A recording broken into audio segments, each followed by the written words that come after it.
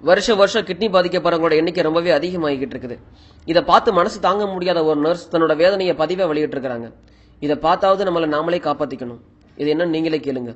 ஒரு பிரபலமான ஹாஸ்பிட்டல்ல ஒரு ஷிஃப்ட்டுக்கு டயாலிசிஸ் பண்றவங்களோட எண்ணிக்கை கிட்டத்தட்ட நூறு பேர். ஒரு நாளைக்கு மொத்தம் நாலு ஷிஃப்ட்டு ஒரு ஹாஸ்பிட்டல்ல ஒரு நாளைக்கு நானூறு பேர் டயாலிசிஸ் பண்றாங்க. அப்ப ஒட்டு மொத்தமா எத்தனை பேத்துக்கு கிட்னி பாதிப்பு இருக்குன்னு நீங்களே கணக்கு போட்டுக்கோங்க. ஒரு டயாலிசிஸ்க்கு ரெண்டாயிரத்தி ஐநூறு ரூபாய். வாரம் ரெண்டு இல்லாட்டி மூணு தடவை அதை பண்ண வேண்டியது இருக்கும். அப்ப ஆயில் பூராம்னா என்ன? தலை சுத்துதுல? சரி டயாலிசிஸ் பண்ண வரவங்களுக்கெல்லாம் வயசு என்ன இருக்கும்னு நினைக்கிறீங்க? அஞ்சு வயசு குழந்தையில இருந்து பிளஸ் டூக்கு எக்ஸாம் எழுத போற பையன் கை குழந்தையோட வர்ற தாயின்னு எந்த வயசு வித்தியாசமும் இல்லாம எல்லாருமே இந்த கிட்னி பாதிப்புக்குள்ளா இருக்கிறாங்க பிளஸ் டூ படிக்கிற பையன் டயாலிசிஸ் பண்ணிட்டு எக்ஸாம் எழுத போறான். என்கிட்ட அக்கா நான் ஆயிரத்துக்கு மேல கண்டிப்பா மார்க் வாங்கன்னு சொல்லிட்டு போறான். இந்த பையனுக்கு இப்படி கிட்னி ஃபெயிலியர் உங்க அம்மா கிட்ட கேட்டேன்.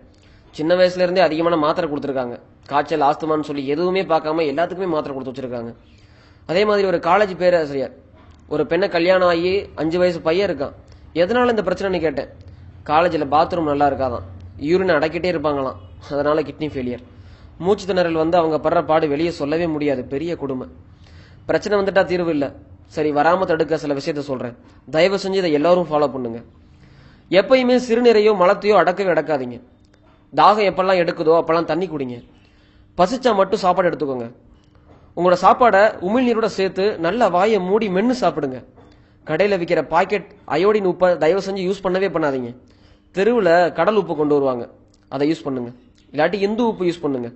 பிஸ்கட்டு பாக்கெட்டில் அடைச்சது கூல்ட்ரிங்க்ஸ்னு எதையுமே தயவு செஞ்சு அறவே தவிர்த்துடுங்க. வசதி இருக்குன்னு கடையில் போய் இனிப்பு பண்டம் நூடுல்ஸ் செயற்கை நிறைமூட்டி இருக்கிற எந்த பொருளையுமே தயவு செஞ்சு வாங்கி சாப்பிடவே சாப்பிடாதீங்க. ரசாயனம் கலக்காத இயற்கையான முறையில் விளைவிக்கப்பட்ட உணவுகளை மட்டுமே சாப்பிடுங்க. மரபணு மாற்றம் செஞ்சு இப்போல்லாம் நிறைய காய்கறி பழங்கள்லாம் வந்துகிட்டு இருக்குது. அதை வாங்குறத அறவே தவிர்த்துடுங்க. வழி மாத்திரையை தயவு செஞ்சு யூஸ் பண்ணவே பண்ணாதீங்க. தலைவலி காய்ச்சல் வந்தால் அதை தாங்கிக்க பழகுங்க. வீட்டு வைத்தியத்தையே பாருங்கள் மாத்திரை எடுக்காதீங்க ஓடி போய் உடல் கழிவுகளை சரியான முறையில் வெளியேற்றுங்க டென்ஷன் இல்லாம சரிவிகித உணவு எடுக்கிறது மூலமா நிறைய நோயை உங்களால் தவிர்க்க முடியும்.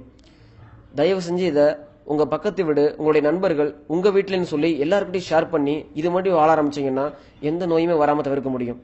Please follow it thank you for வாட்சிங்